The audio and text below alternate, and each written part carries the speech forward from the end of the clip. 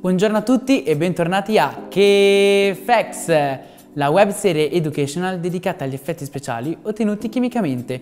Nello scorso episodio abbiamo visto come realizzare le fiamme verdi, un importante effetto realizzato chimicamente ed usato al cinema per realizzare ambientazioni magiche e tenebrose.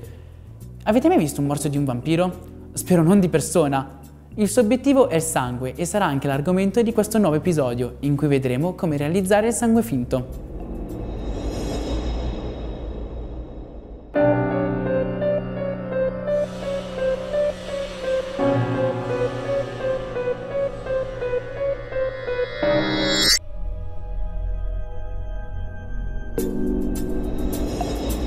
Ma i vampiri non esistono, si sa, ed anche il sangue che abbiamo appena visto non era vero. Ma ora vediamo come si realizza questo effetto, grazie all'aiuto dei nostri amici chimici.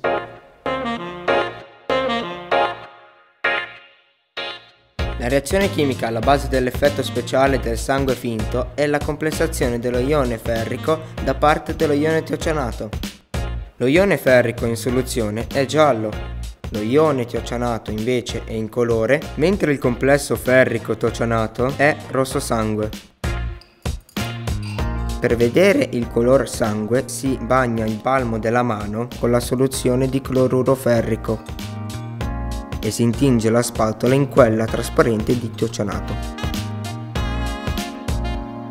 Facendo scorrere la spatola sul palmo della mano avviene immediatamente la reazione con la formazione del prodotto di colore rosso sangue. Grazie ai nostri chimici per questa fantastica dimostrazione del sangue finto. Mi raccomando però, non rifatelo a casa.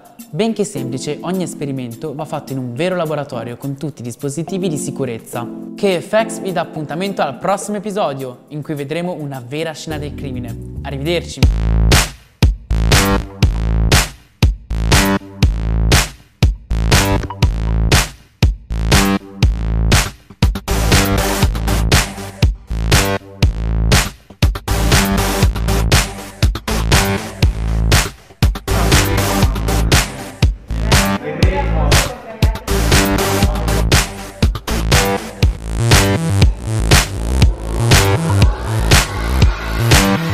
Não funciona, prof.